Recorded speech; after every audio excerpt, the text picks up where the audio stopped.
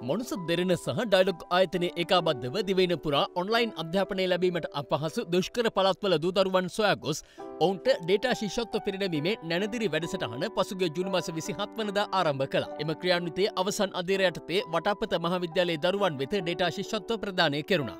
මනුසත් Derana dialogue ආයතනය ඒකාබද්ධව ක්‍රියාත්මක කරන නැනදිරි ඩේටා ශිෂ්‍යත්ව වැඩසටහනින් මේ වන විට දරුවන් එක් ලක්ෂ හය දහස් පන්සේ හැටක් වෙත ඩේටා ශිෂ්‍යත්ව ප්‍රදානය කර අවසන්. ඒ අනුව මනුසත් දෙරන ඩයිලොක් සමගින් ඒකාබද්ධව දැය දරුවන් උදෙසා ක්‍රියාත්මක කෙරුණු නැනදිරි ඩේටා ශිෂ්‍යත්ව වැඩසටහන අදින් අවසන් වනවා.